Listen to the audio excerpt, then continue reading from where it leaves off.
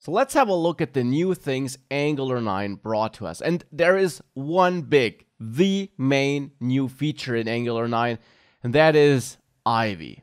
Now, in case you don't know what Ivy is, it's their new internal view rendering engine, which means it's the logic that brings your Angular app to life, you could almost say. It's the thing which uses your components, your templates, and which in the end turns all of that, all of the component and template logic you write into instructions that run in the browser when you ship your finished Angular application.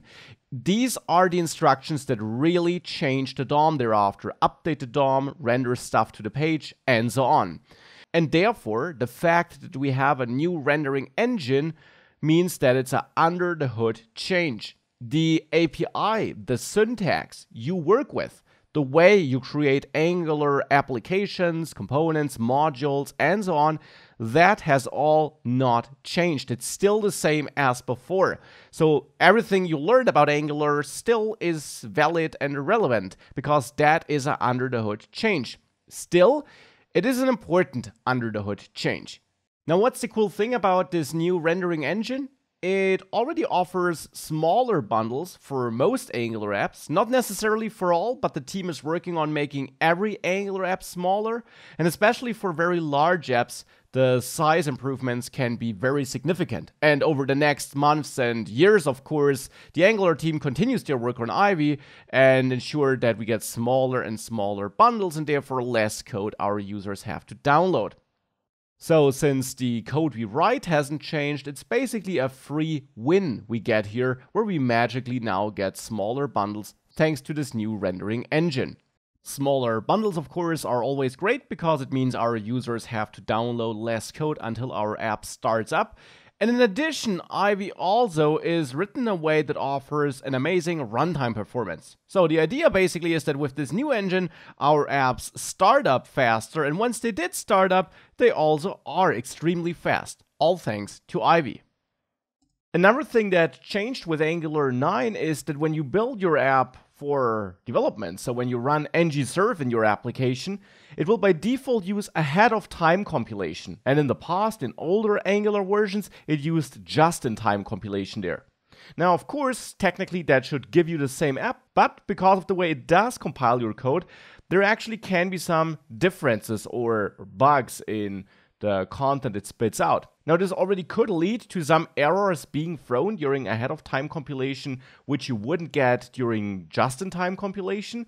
But one important new feature that was also added with Angular 9 is that you can configure how your templates should be checked. So, how the types you're using in your templates should be checked. Some basic support was available in the past too, now it's a bit more detailed. You can switch between three different modes, the basic mode, the full mode, and the strict mode. This uh, simply determines how Angular will parse your component templates and which things it will check and for which things it will throw errors.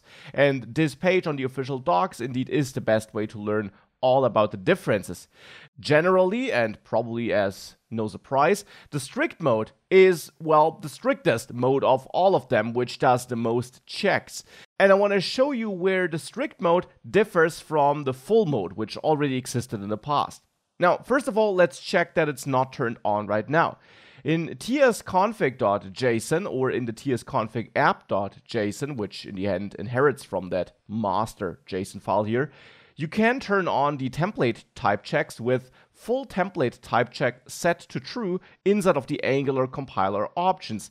And this is an option you already could use in the past. This will check your templates for a lot of different things and catch a lot of errors.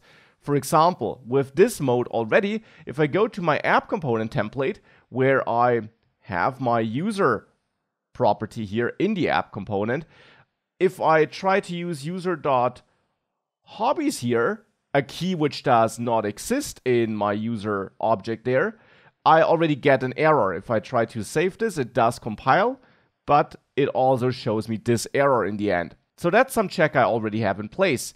I can, for example, access user.age though, because we have a h property in that user object. Now, nonetheless, this actually should also yield an error. Why? Because if we have a look at the user component, which I'm using here, we see that the name property to which I'm binding actually is of type string. And if we take a closer look at the user object, we see that the age property there is a number. So I'm actually passing a number into this name property. It's not a string. Now with Angular 9, we can go back to that tsconfig.json file and add a new option here, strict templates, and set this to true. And if we do this, it will take this into account. Let's restart ng-serve to make sure it picks up the new configuration. And let's see what this gives us now. This will now compile the application, and it now gives us an error. It gives us an error that type number is not assignable to type string.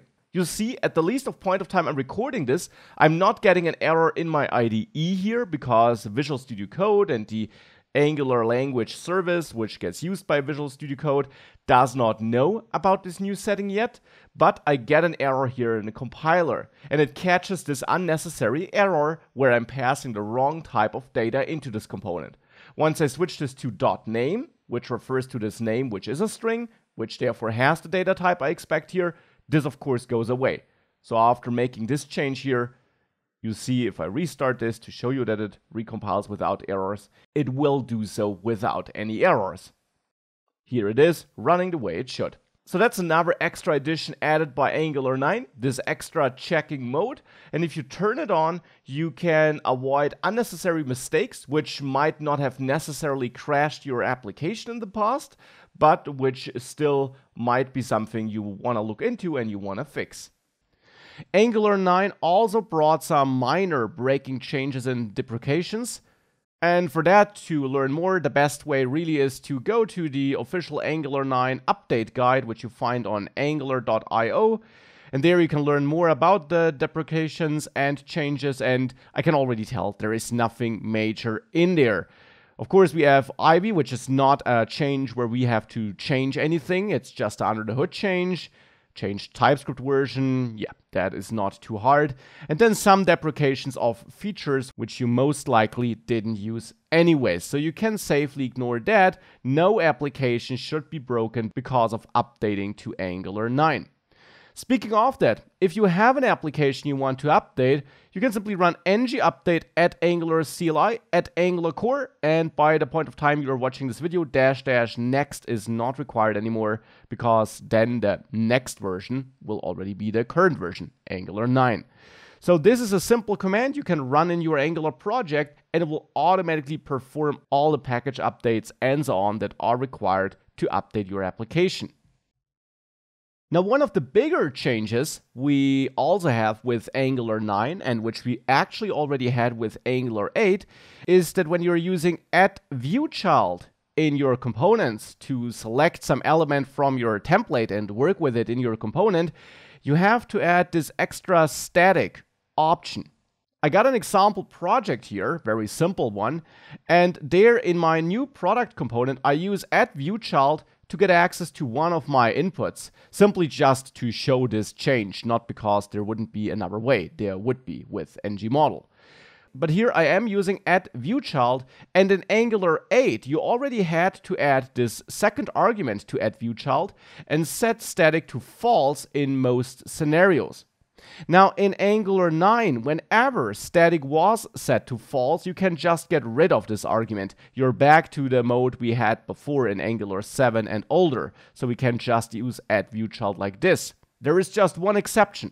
If you want to use this element before change detection ran, which is typically the case in ng on init for example, you have to add static true. So static false basically never needs to be added, it's the default, but static true needs to be added if you access the element you're getting access to inside of ng on init. So before change detection ran, then you need to add this. You already needed to do this in Angular 8, you still need to do it in Angular 9.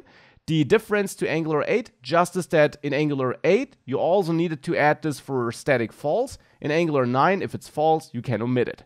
So true always required, false can be omitted. And this is already it. So doesn't really sound like a lot changed, does it?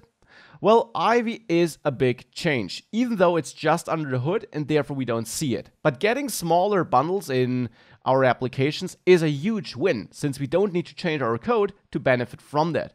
And in addition, when we think about Angular 10 and the future of Angular in general, Ivy will most likely play a major role. Of course, the Angular team continues to work on Ivy, and therefore we'll see more and more size improvements and also runtime performance improvements over time, which we all get for free because it's the underlying rendering engine. So this is a huge change.